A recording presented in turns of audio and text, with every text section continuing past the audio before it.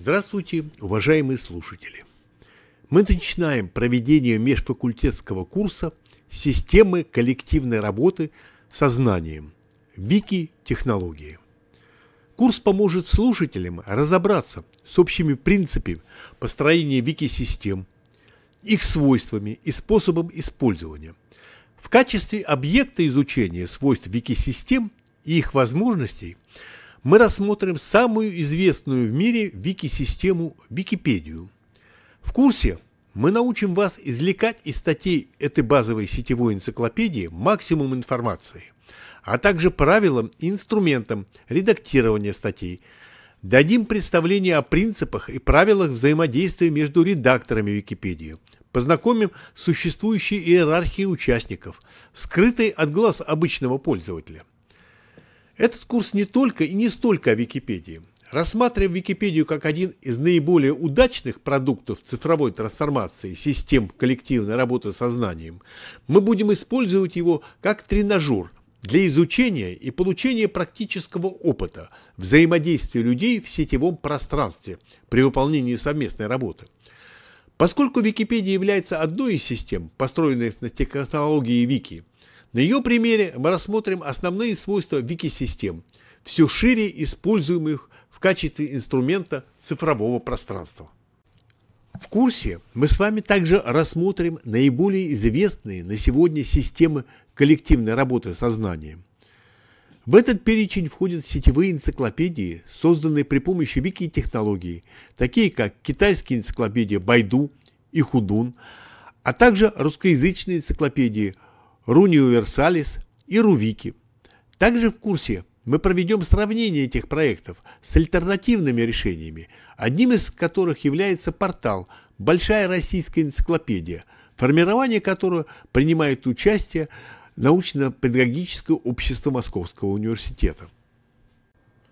Представляемый курс по-настоящему междисциплинарный, поскольку все рассматриваемые в нем информационные системы предназначены для описания понятий, относящихся к различным предметным областям, на различных языках, обеспечивая сохранение и приумножение этой информации для современников и потомков.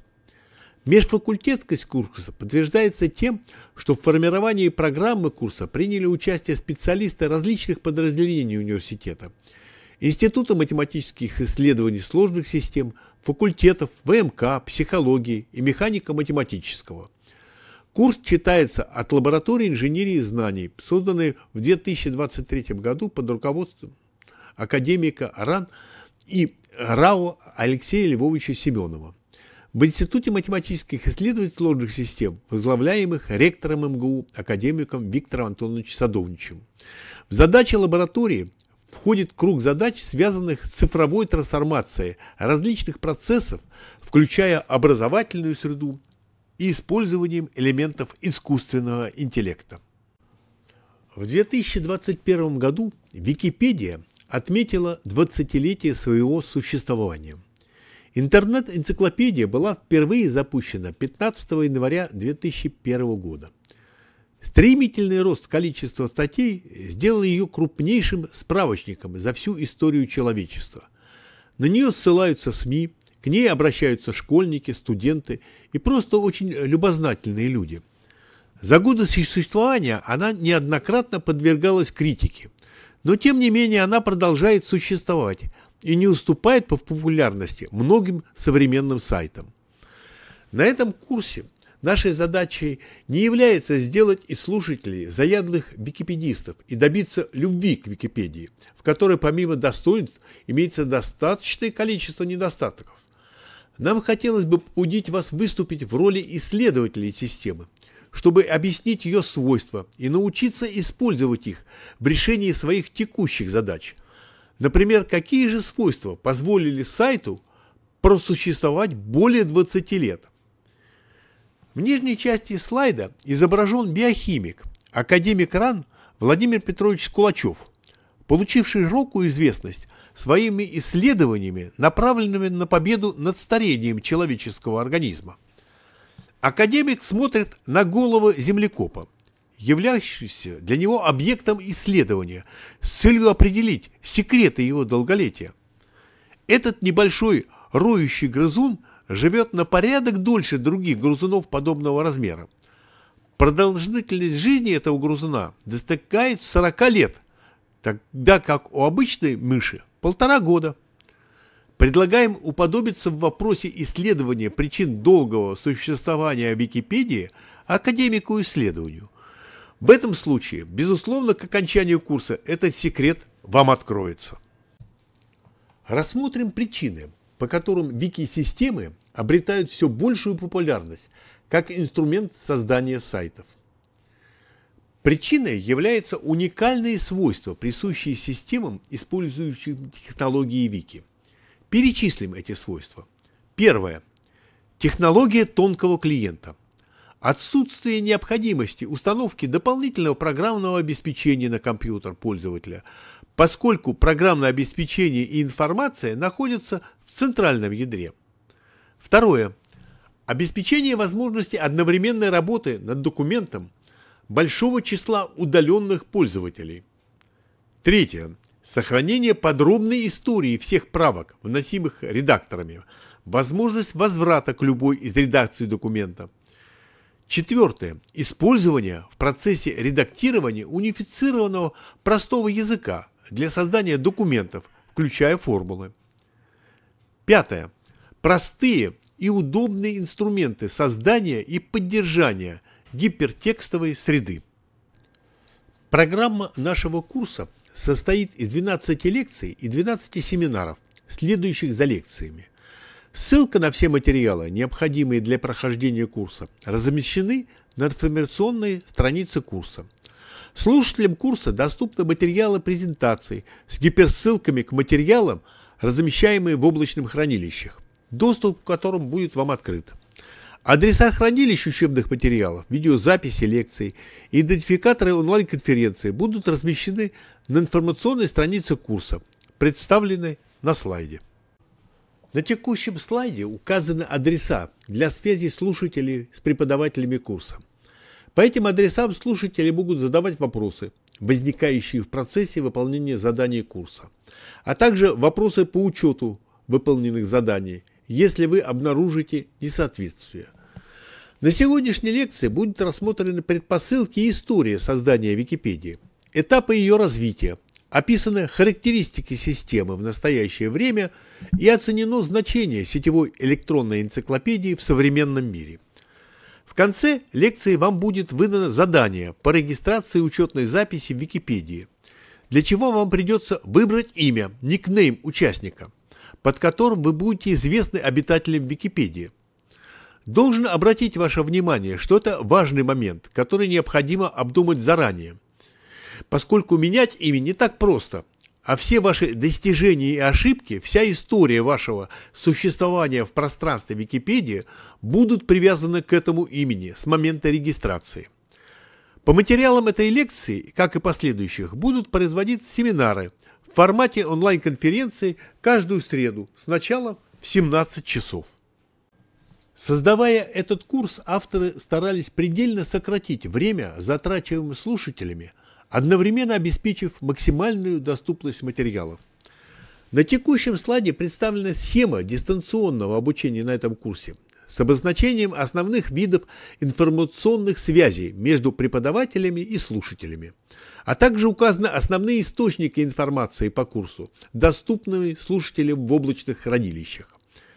Изложу кратко основные составляющие методики преподавания нашего курса, направленные на максимальное сокращение затрат времени слушателей, в то же время приблизив взаимодействие, насколько это возможно, к форме индивидуальных занятий. Видеозаписи лекций по каждой теме курса будут публиковаться еженедельно. В конце каждой лекции слушателям дается задание для самостоятельного выполнения с учетом тех знаний и навыков, которыми он должен владеть на этот момент. Презентация каждой лекции, содержащие гиперссылки к материалам, связанным с темой лекции, в сети интернет будут доступны слушателям в облачном хранилище, где также будут находиться учебные пособия по курсу, как и перечень заданий для выполнения. Ответы на вопросы по прочитанной лекции и практические занятия по выполненному заданию проводятся со слушателем ежедневно, по средам, в формате онлайн-конференции с 17 часов. На слайде показана в качестве инструментов для проведения еженедельных конференций платформа TrueConf. Но мы можем сменить систему видеоконференций, если посчитаем это решение целесообразным. Обратная связь слушателей с преподавателями курса осуществляется по адресам электронной почты курса, указанных в презентации ранее, а также регистрации слушателей в Википедии по системе Вики-почты на адрес участника Вики CMC MSU. Также обмен информацией будет производиться в группе мессенджера Telegram. Для учета выполнения заданий слушателями курса создаются таблицы учета выполнения заданий, размещенные в облачных хранилищах. Таблица включает следующую информацию. ФИУ слушателя, факультет слушателя, дату регистрации слушателя в Википедии, количество статей, созданных слушателем Википедии, количество правок, сделанных слушателем Википедии, ячейки выполнения задания по каждому занятию, ячейку суммарных баллов, полученных слушателями за выполнение задания – на текущем слайде представлен общий вид таблицы журнала по учету выполнения слушателями заданий курса для получения зачета.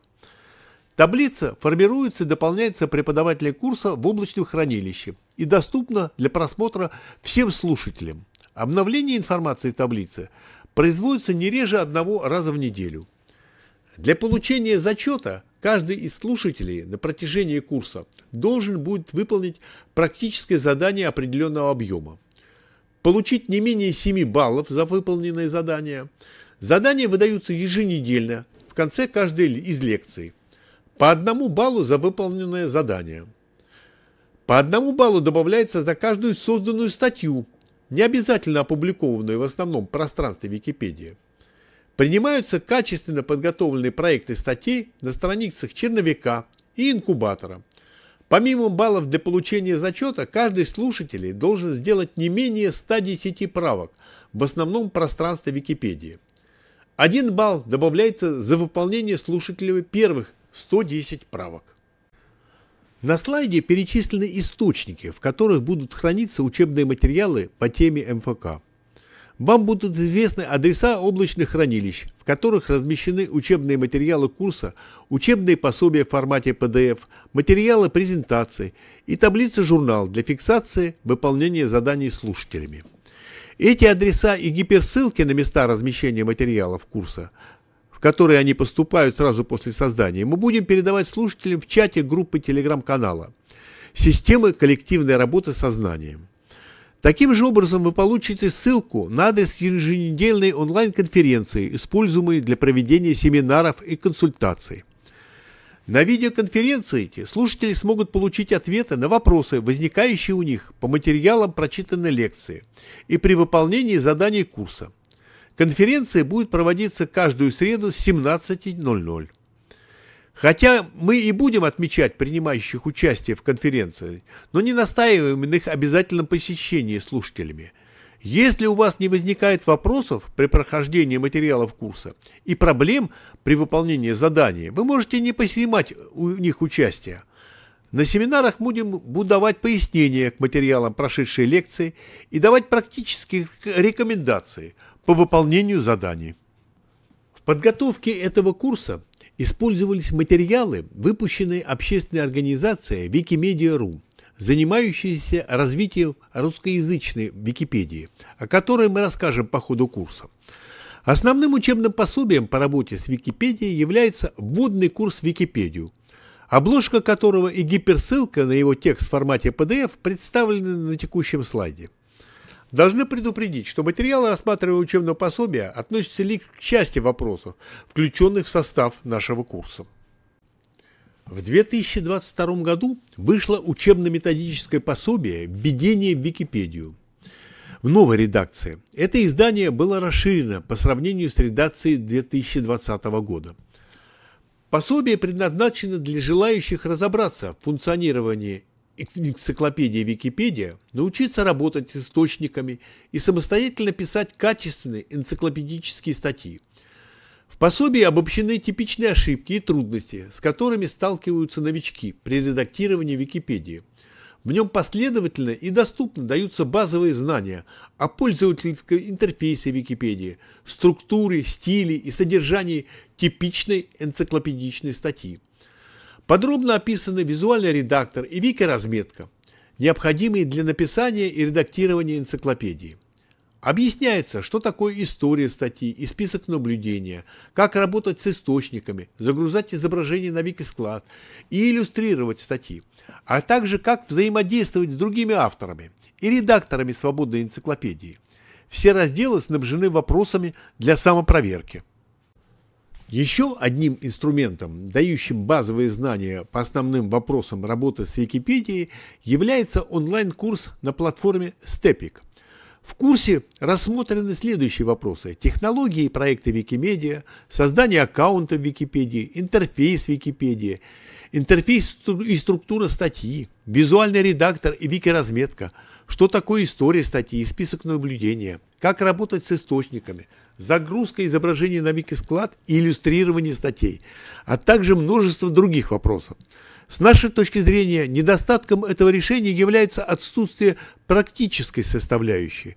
В курсе не предусмотрено обучение процедурам создания статей, внесение правок и взаимодействию с другими редакторами Википедии. В конце XX века экономист Питер Друкер провозгласил вступление человечества в новую экономику или новое общество – названное Друкером информационным обществом Knowledge Society и отличающееся от предшествующих формаций тем, что основную роль в нем играет знание. Друкер заявил, что в новых экономических условиях знание является не еще одним ресурсом того же порядка, что и традиционные факторы производства – труд, капитал и земля, а вообще единственным имеющим значение ресурсом.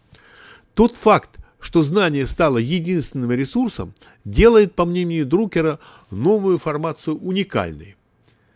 Элвин Тофлер разделяет мнение Друкера и называет знание мощнейшей силой и ключом к грядущему сдвигу власти, обращая особое внимание на превращение знания из дополнения к силе денег и силе мышц в их квинтэссенцию – что объясняет разгорающуюся по всему миру войну за контроль над информацией и средствами коммуникации. Тофлер верит в окончательную замену прочих ресурсов знанием. Джеймс Брайан Куин придерживается взглядов, сходных со взглядами Друкера и Тофлера, и считает, что экономическая и производительные силы современных корпораций заключены в основном в интеллектуальной сфере и в сфере производства услуг, а не материальных активов, земле, заводах и оборудовании.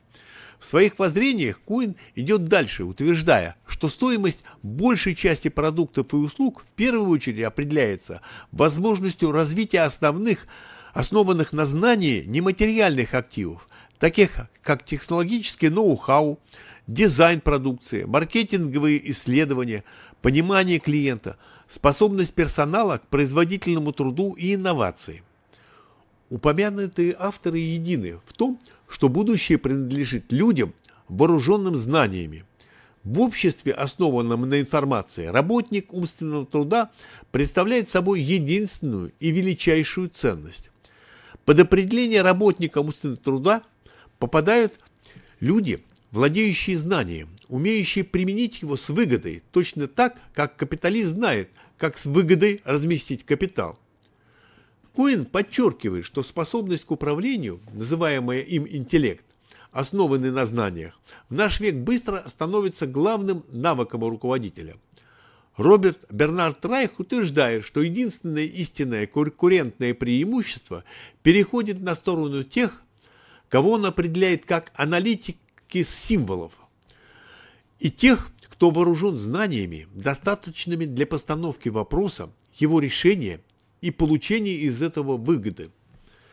Японские компании вкладывают в понятие знания совершенно иной смысл. Они считают, что выражаемые словами и цифрами знания всего лишь верхушка айсберга, а знание в основном не формализовано, то есть не является чем-то легко видимым и объясняемым. Неформализованное знание существует на уровне индивидуума, и формализации поддается плохо – что затрудняет его передачу кому бы то ни было и использование кем-либо, кроме владельца. Под это определение подпадает субъективное понимание, предчувствие и догадки. Кроме того, неформализованное знание тесно связано с действиями и опытом конкретного человека, так же, как и его идеалы, принятые им ценности и испытываемые эмоции. Таким образом, в неформализованном знании можно выделить два аспекта. Первый аспект – технический, включающий в себя повседневные и трудно определяемые навыки или умения, объединяемые понятием ноу-хау.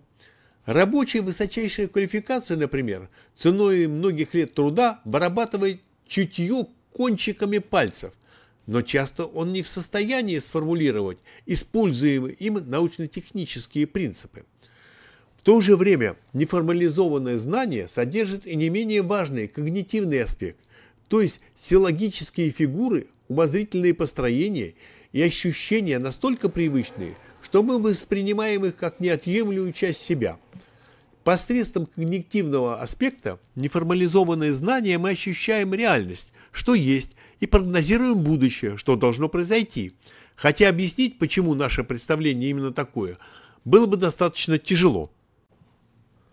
В материалах, размещенных в облачных хранилищах, гиперссылки на которые представлены на справочной странице курса, мы старались отобрать наиболее важное, что вам необходимо и достаточно знать для успешного прохождения курса, а далее успешной работы в Википедии.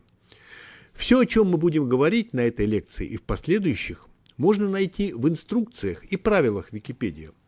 Но в подавляющем числе случаев информация, изложенная в них, избыточна.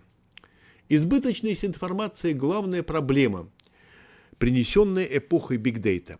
Этот фактор всем нам приходится учитывать теперь постоянно. Все мы ощущаем отчетливо, как меняется мир под воздействием стремительного наступления цифрового пространства и все нарастающего потока больших данных, давящего на нас. Это не могло не отразиться на нашей повседневной жизни, и в том числе на системе образования. На текущем слайде представлена динамика роста и изменения цифровой доли информации через рост мирового технологического потенциала для хранения, передачи и вычисления информационных данных. 2002 год объявился переломным в изменениях соотношения мирового объема аналоговых и цифровых данных в пользу последних, объем которых увеличивался в геометрической прогрессии лавинообразно – в 2007 году объем цифровых данных превысил объем аналоговых почти в 15 раз. В потоке этой информации много лишнего и недостоверного. Подавляющие пропорции информации, относящиеся к рекламе, прямой и контекстной. Эти процессы, происходящие в мире, неизбежно должны найти отражение в методике преподавания. Можно это описать так, что если раньше профессор-преподаватель был уникальным хранителем информации по определенной теме, которыми делился со своими учениками, то теперь источников этой информации огромное количество в разнообразных видах. Электронные тексты, аудио, видео. И объем этой информации лавинообразно растет. В этих условиях преподаватель играет роль лоцмана в море больших данных. Провести своих слушателей наикратчайшим путем, избегая лишнего и предостерегая от опасностей на пути, которые далее им придется проделывать дальше в одиночку, научить своих учеников различать важное, отбрасывая второстепенное, и не поддаваться на соблазны блестящего. Декан экономического факультета МГУ Александр Александрович Аузан обращает внимание на цену времени, приводя пример. Часто, что цена времени, потраченного на поиск наиболее выгодной цены товара, оказывается значительно выше, чем полученная выгода от разницы в цене. Находясь в потоке больших данных, требуется особое внимание за контролем расхода времени, поскольку в этой среде число инструментов для этого непрерывно растет, как и количество инструментов по внедрению рекламы. Это и определяет главную задачу преподавателя в забитом информацией цифровом пространстве – провести слушателя по информационному каналу, проложенному оптимальным путем, сосредоточив внимание на самом значимом и не давать отвлекаться на малозначимое. Задача слушателей – следовать за информацией, изложенной в лекциях, по возможности не отвлекаясь. Попытаемся вместе пройти этот путь. Антагонизм понятия Data и Википедии подобен различию поисковой системы и искусственного интеллекта, выявляющего в различных ответах этих систем на одинаковый вопрос. Например, на запрос «Бразилия» поисковая система предложит 51 миллион ответов, в то время как искусственный интеллект выдаст максимально содержательные государство в Южной Америке с одноименной столицей. Авторы курса рассматривают Википедию как важный инструмент в защите информационного пространства от надвигающегося цунами больших данных, о чем подробнее мы расскажем в курсе. Люди по-разному воспринимают понятие больших данных. Одни воспринимают это как положительное и изучают, как этими данными управлять. Другие считают это отрицательным явлением и думают, как защититься от него. Явление больших данных, порожденное совокупностью цифрового формата и свойств сетевого пространства, включает в себя две части, которые будем условно называть хорошими и плохими данными. К хорошим и полезным данным относится структурированная информация, включающая формализованные знания, создаваемые группой людей, которые условно можно объединить под понятием «эксперты». К этой группе относятся ученые, специалисты в разных предметных областях, энциклопедисты, преподаватели. К этой части данных относится, безусловно, вся информация, формирующаяся в различных сетевых энциклопедиях. В нее можно включить Википедию, портал «Большая российская энциклопедия» и проектирующий ковчег знаний МГУ. Методики формирования такой информации в предмете инженерии знаний относят к экспертным системам. Одновременно с хорошими в составе больших данных, как пена, нарастает доля плохих, паразитных и бесполезных данных. Эта информация, связанная с рекламной деятельностью и вспомогательные промежуточные данные, создаваемые в процессе огромного числа параллельно выполняемых программных операций, но также, как и остальная информация, сбрасываемая в океан цифрового пространства. Паразитная информация создается не людьми, а ботами и нейронными сетями, созданными людьми для достижения определенных целей, но не предусматривающих в своих алгоритмах запрограммированы остановки своей деятельности или запущенных и забытых. Скорость формирования данных ботами или нейронными сетями, как под виду ботов, многократно превышает возможности человека. Поэтому цифровое пространство засоряется с большей скоростью, чем прирастает полезными формализованными знаниями. Явление Data, безусловно, повлияло на сферу образования по причине существования огромного количества информации по разным направлениям знаний. Изменилась и роль преподавателя в современном мире. Раньше преподаватель был основным носителем знаний, которыми делился с учениками. Сейчас роль изменилась. Преподаватель не является единственным обладателем знаний. Знаний слишком много в цифровом мире. Роль преподавателя теперь это роль шерпы или проводника – который пытается провести учащихся наиболее коротким путем к необходимым им знаниям, не позволяет влекаться на постороннюю, паразитную и недостоверную информацию, которая так много существует в цифровом пространстве. Нам также приходится учитывать эти реалии в курсе, непосредственно связанном с цифровыми технологиями. Основная наша задача – научить слушателей, как отличать полезные данные от ложных, на что обратить внимание и где находить правильную информацию. Роль преподавателя в сетевом пространстве все более напоминает задачи сталкера, ведущего группу по территории запретной зоны, в которой каждый раз все меняется, и неизвестно, как она воспримет каждое новое воздействие.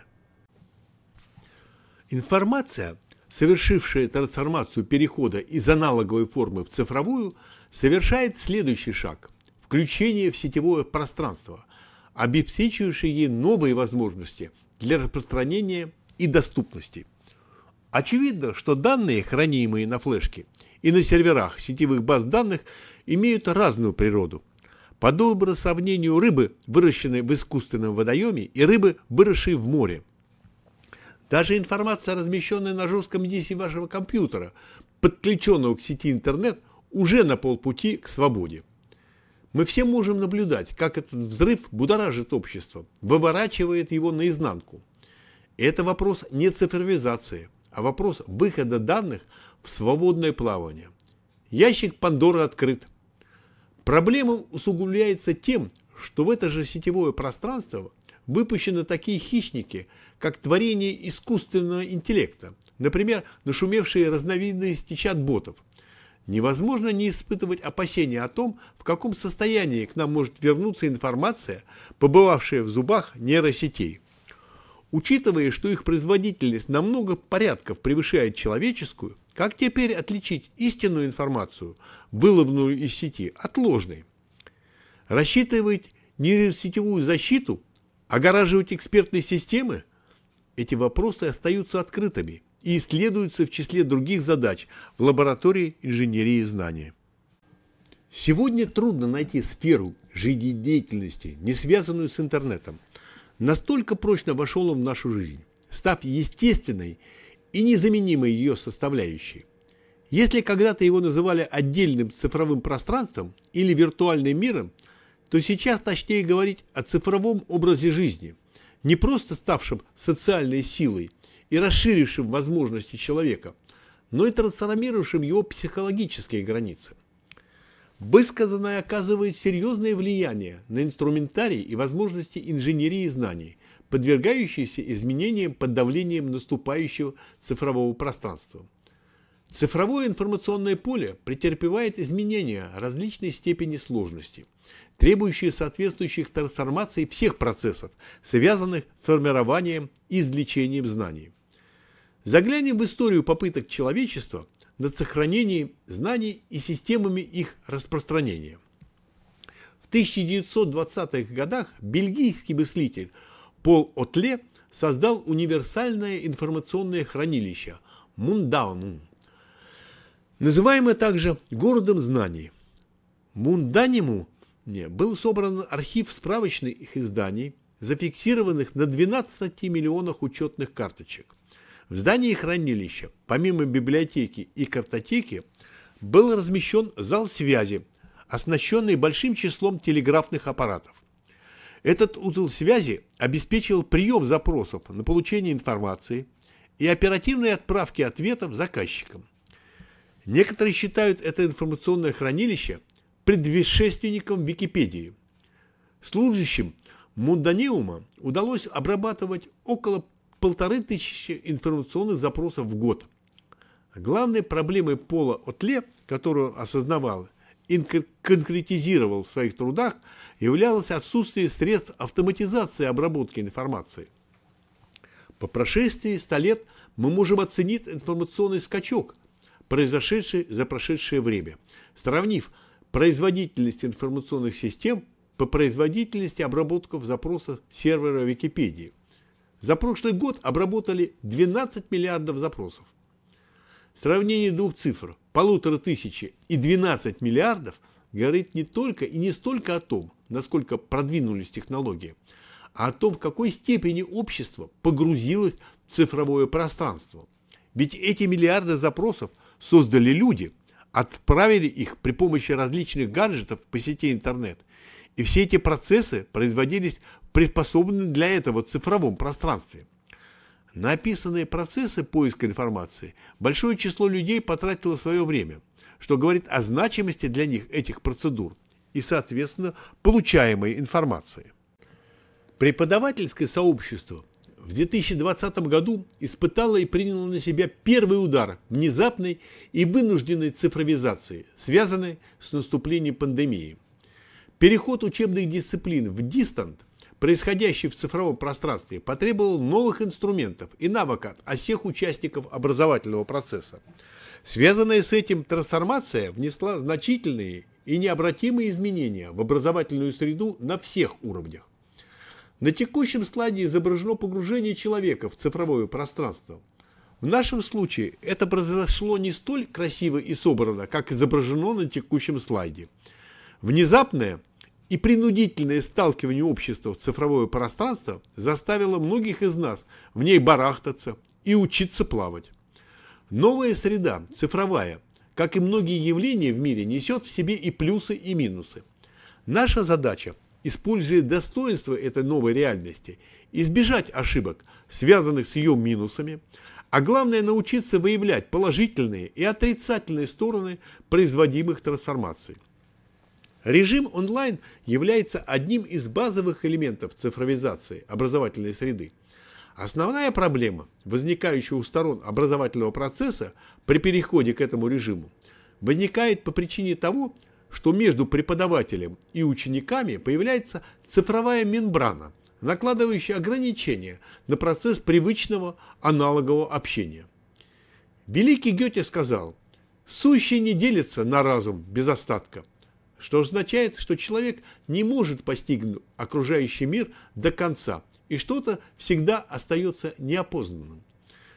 Приход цифровой эпохи, разделившей преподавателя и ученика цифровым экраном, заставляет переформулировать мысль великого поэта и мыслителя в следующем виде. Аналоговый мир не делится на цифру без остатка. Находясь с учениками по разные стороны цифрового барьера, мы, безусловно, многое потеряли из того, к чему мы привыкли, и тому, что помогало выстроить взаимосвязь с учениками. Мы потеряли возможность ментальной связи с ними, возникающей неизбежно в аудитории. Запахи, электрические поля, неуловимые движения, которые помогали почувствовать настроение аудитории.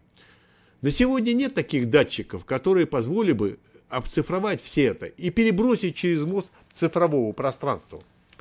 С этими потерями, возможно, на время, но придется расстаться. И надо честно сознаться, что мир не станет прежним, даже после победы над пандемией. Надо учиться жить и преподавать в новой реальности. Переход в дискретный мир, отняв у нас много того, к чему мы привыкли, одновременно принес много других важных инструментов и возможностей, которые мы должны научиться использовать, чтобы восполнить понесенные потери. Начнем с вопроса, какие основные характеристики цифрового сетевого пространства наиболее его характеризуют и отличают от реального, аналогового мира. Я употребляю цифровое и сетевое вместе, поскольку эти понятия неразрывно связаны. Цифра обитает и распространяется в сетях. Цифра может существовать и в изолированных пространствах, например, в памяти компьютеров, но здесь она никому, кроме владельца компьютера, незаметна, малодоступна, и ей можно пренебречь. Речь идет о свободной цифре, гуляющей по сетям. Основными характеристиками, выпущенной в пространство сетей цифры, является скорость распространения и общедоступность. Распространение цифры трансгранично, как, собственно, и сетевое пространство. Цифра начала быстро размножаться – Нерегулируемое изображение цифры названо большими данными, big data. Коммерсанты способствовали размножению, выпуская гаджеты с новыми функциями, соединяющие потоки разнообразных данных и формирующие в результате их скрещивания новые формы данных. Также производители периодически увеличивают число пикселей в устройствах фото и видеосъемки. Данные дублируются, заполняя собой информационное хранилище – Процесс вышел из-под контроля человека. По сути, данные множит уже не человек, а растущее число ботов, встроенных в огромное число гаджетов, которыми мы окружены. Человечество запустило неуправляемую реакцию распространения цифры. Специалисты IT, юристы, психологи ищут пути взятия под управление, уходящую из-под контроля цифру. По нашему мнению, пока в этом взаимодействии цифра опережает усилия специалистов. Посмотрим, как описывается это понятие в Википедии. Цифровой след – это уникальный набор информации о действии объекта в интернете или на цифровых устройствах. Во всемирной паутине интернет-след – это информация, оставленная пользователем в результате просмотра веб-страниц.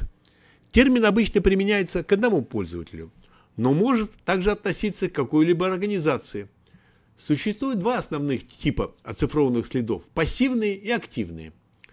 Пассивный цифровой след – это данные, собранные без ведома владельца.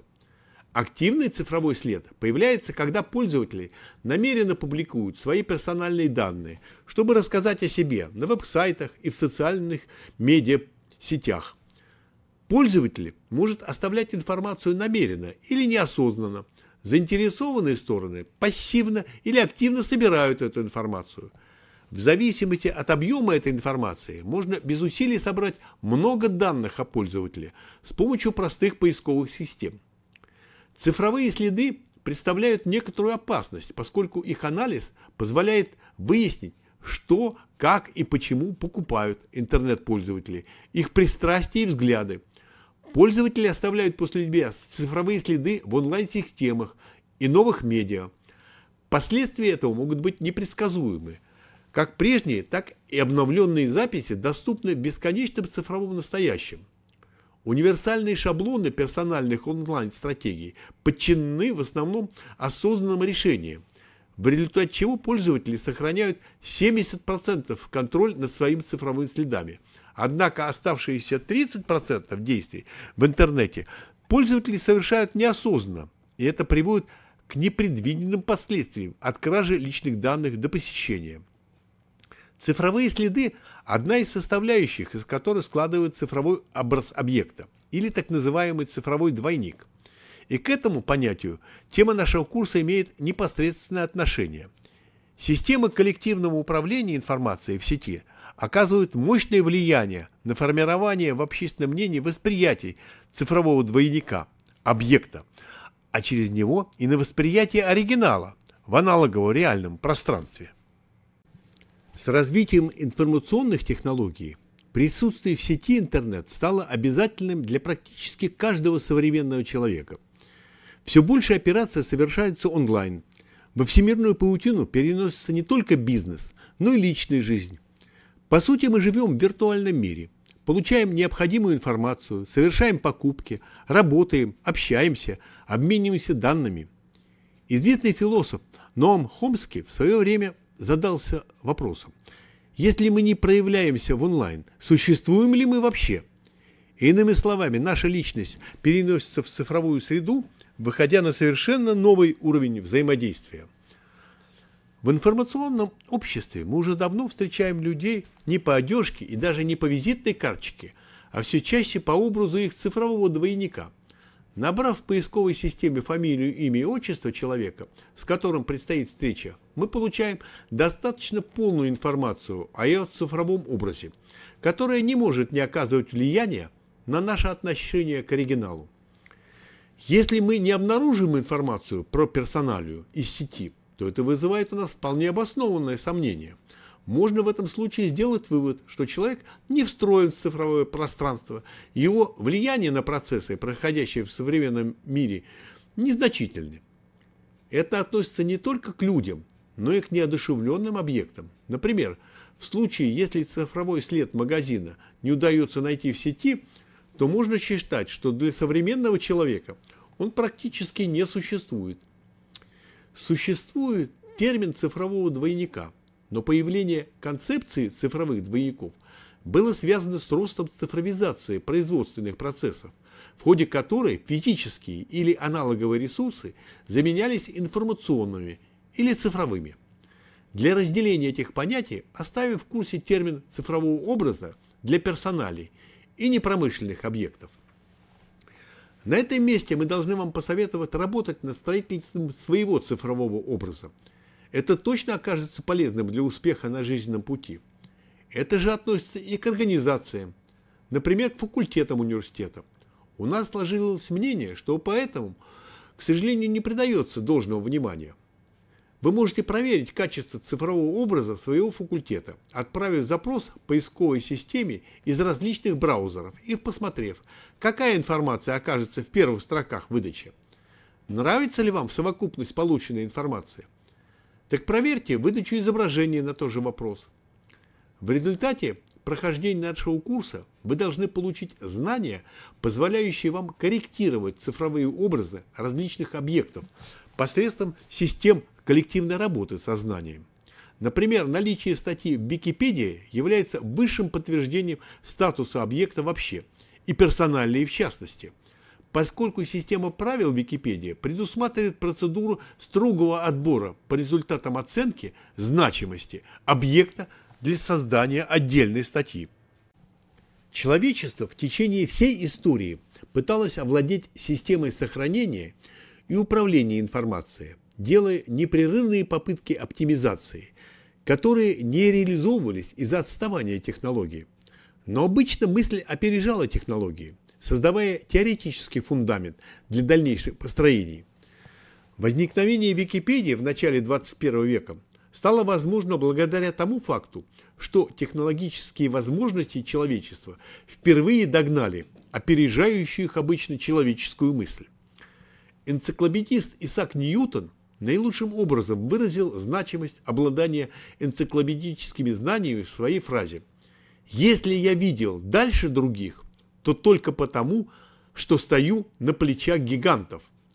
Ньютон являлся энтузиастом создания общедоступной энциклопедии и считал ее основой создания разумного и справедливого общества. Мысль, высказанная Ньютоном, на самом деле восходит к изречению французского философа Бернара Шарского, сделанного еще в XI веке. Мы подобны карликам, усевшимся на плечах великанов.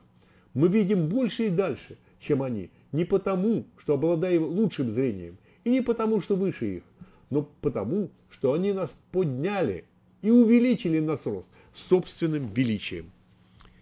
Изречение «стоя на плечах гиганта» в качестве девиза используется на сайте Google Академии.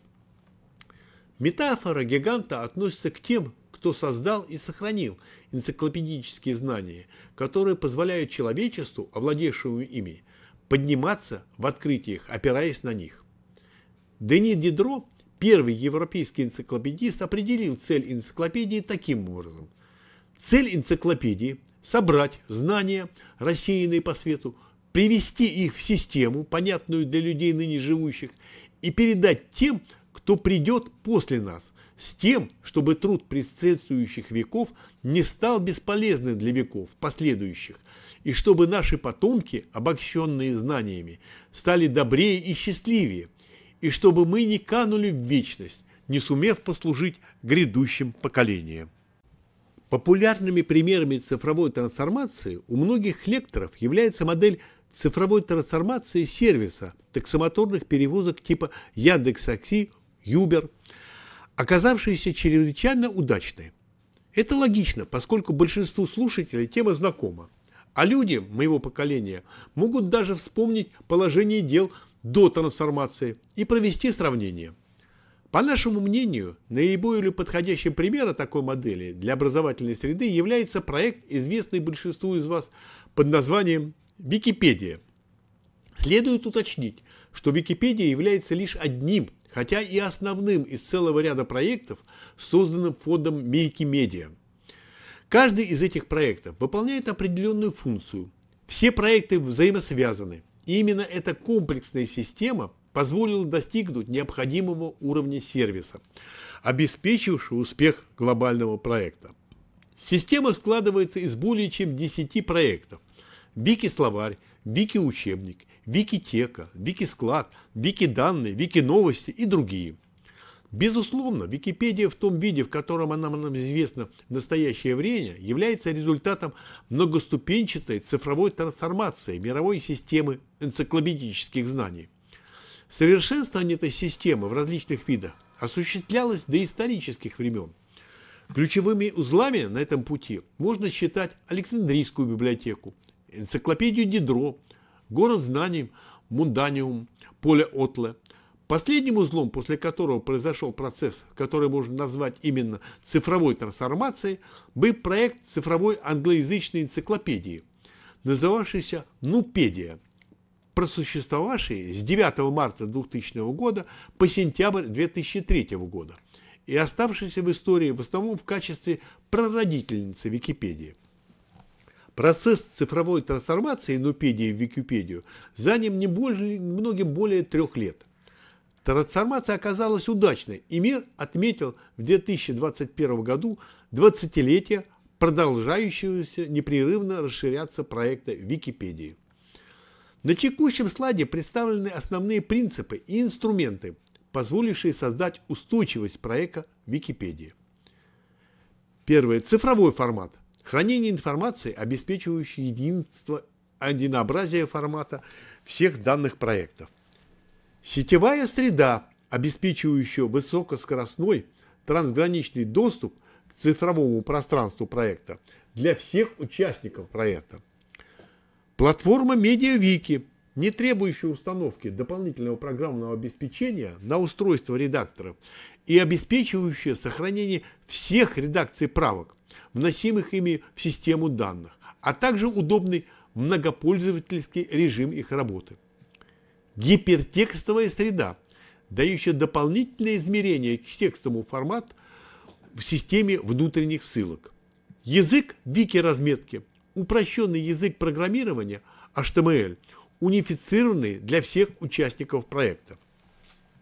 Антологическая система, обеспечивающая дополнительное структурирование всех элементов, входящих в базу данных проекта, позволяющая использование данных Википедии в качестве обучающего множества для систем искусственного интеллекта.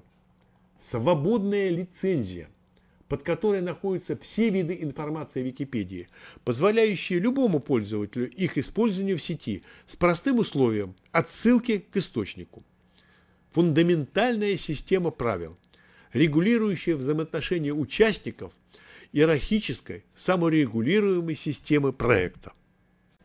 История накопления и сохранения знаний полна случаями их кражи и, соответственно, защиты.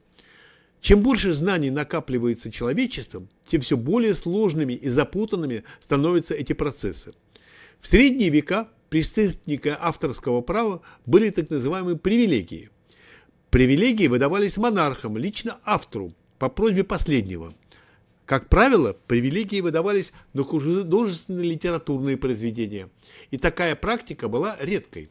Многие ученые и люди искусства придерживались той точки зрения, что их произведения являются не актом творения, они являются лишь проводниками божественного знания, которые выражают посильным способом. Соответственно, заявлять права на свои произведения – было бессмысленно и греховно. Рождение авторского права можно считать 10 апреля 1710 года, когда впервые принят закон «Статут королевы Анны», вводящий авторское право. Закон, принятый британским парламентом, защищает авторов книг, карт и чертежей.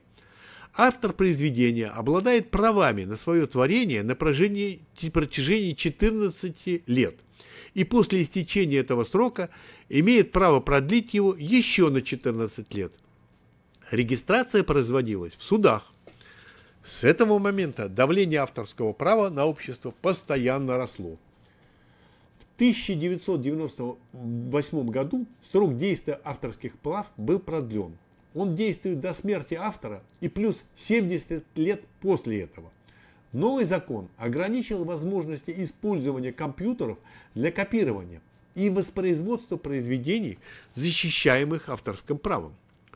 Совершенно очевидно, что действующее законодательство вступило в принципиальное противоречие с обычаями, принятыми в новом цифровом информационном обществе, коммуницирующим в трансграничном сетевом пространстве с неограниченными возможностями копирования и распространения любой информации. В курсе мы рассмотрим появление нового принципа отношения к артефактам, называемого копилефтом, а также новую систему свободных лицензий Creative Commons, соответствующую в большей степени условиям современного цифрового общества, требующего свободного пользования информацией и отмены устаревших принципов эпохи Гутенберга. Википедия и многие другие сетевые источники информации, порталы и сайты – размещают информацию под свободной лицензией. На слайде вы видите аллергическое сражение копилефта с копирайтом. И как можно видеть, первый побеждает, поскольку будущее безусловно за ним. Для успешного продолжения курса слушателям необходимо зарегистрироваться как участнику Википедии и оформить свою личную страницу. Это будет первым заданием курса. После регистрации вы получите дополнительные возможности и инструменты для работы в пространстве Википедии, а также писать с использованием системы Википочты электронные письма ведущим курса о выполнении заданий курса и возникающих проблемах. Каждому участнику Википедии автоматически присваиваются две специальные страницы. Личная страница участника и страница обсуждения участника. Эти две страницы образуют так называемое пространство участника, играющее вспомогательную роль, а именно выступающее как средство общения с другими участниками проекта по вопросам, касающимся совместной работы над энциклопедией. Страницы участников не являются статьями Википедии, включенными в основное пространство Википедии, а находятся в отдельном пространстве имен участников. Для отделения личного пространства участника от основного пространства необходимо поместить на страницах личного пространства специальный шаблон в двойных фигурных скобках user page – Страницы участников не подлежат включению в категории, предназначенные для категоризации энциклопедических статей. Страницы участников открыты для просмотра и даже редактирования другими участниками Википедии. Впрочем, редактирование чужих личных страниц без приглашения считается дурным тоном, а в некоторых случаях даже вандализмом. Ссылка на страницу участника или страницу обсуждения автоматически включается в подпись участника. Хочу обратить ваше внимание на важность задачи выбора имени участника. Выбирая себе имя Википедии, не следует забывать русскую пословицу «по одежке встречают», потому что ваше имя – это та самая одежка, которая должна выглядеть пусть но прилично – в зависимости от, от того, насколько сильно вы хотите сохранить свою анонимность, ваше имя участника может основываться на вашем настоящем имени или привычном прозвище, или же это может быть абсолютно новый псевдоним, которым вы раньше нигде не пользовались.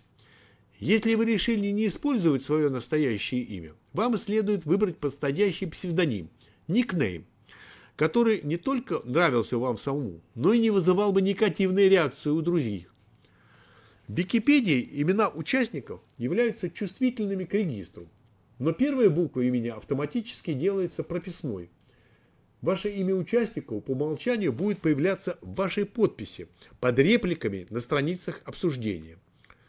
Пользуясь своим подлинным именем, вы позволите другим идентифицировать себя с тем, что вы пишете, и таким образом вы можете подвергнуть себя опасности личных нападок или даже преследования в реальной жизни – Рекомендует заранее оценить все преимущества и недостатки того, что вы будете делать правки под своим настоящим именем. Даже если вы в дальнейшем захотите сменить имя, информация о предыдущем имени все равно остается доступной для всех. Единственный приемлемый выход в этом случае – начать жить заново с чистого лица. На следующих слайдах будет показана процедура регистрации аккаунта в Википедии и создания страницы участника. Если перейти на заглавную страницу Википедии, то в верхнем правом углу страницы незарегистрированный участник увидит закладку «Создать учетную запись». Для начала регистрации нужно нажать на эту закладку, отмеченную на слайде красной стрелкой. После этого вы попадете в меню помощника создания учетной записи, показанную на следующем слайде. На самом деле, если вы вошли как незарегистрированный участник, то в правом верхнем углу любой страницы будет видна закладка «Создать учетную запись». Поэтому процедуру регистрации можно совершить с любой страницы Википедии. Эта надпись появится, если вы просто выйдете из своего аккаунта, поскольку в этом случае вы являетесь для системы Википедии незарегистрированным пользователем, и она предлагает исправить эту ошибку. На странице меню помощника создания учетной записи вам нужно заполнить 6 текстовых полей, отмеченных на слайде синими стрелками. И после их заполнения нажать на расположенную под ними кнопку «Создать учетную запись», отмеченную на слайде красной стрелкой. Первое и самое важное – это имя вашей учетной записи. То имя, которое с момента регистрации будет закреплено за вами на страницах Википедии. Конечно же, имя участника при большом желании впоследствии можно изменить. Но это сложный процесс, требующий помощи одного из администраторов Википедии. По этой причине мы предлагаем вам проявить внимание к этому выбору. Второе поле – придуманный вами пароль. Его вы вводите самостоятельно и запоминаете. Следующее поле – повторение пароля. После ввода пароля вы вводите адрес вашей электронной почты, благодаря чему вы сможете воспользоваться единственным способом восстановления своей учетной записи, в случае, если забудете пароль. После заполнения этих полей повторяйте набор букв и цифр, которые предложит вам система капча на картинке в целях безопасности, чтобы проверить, что вы не бот. После чего нажмите на синий прямоугольник в левом нижнем углу с надписью «Создать учетную запись». Для облегчения процесса регистрации и создания личной страницы участника снят видеоролик, ссылка на который размещена на текущем слайде. До свидания, до следующей лекции.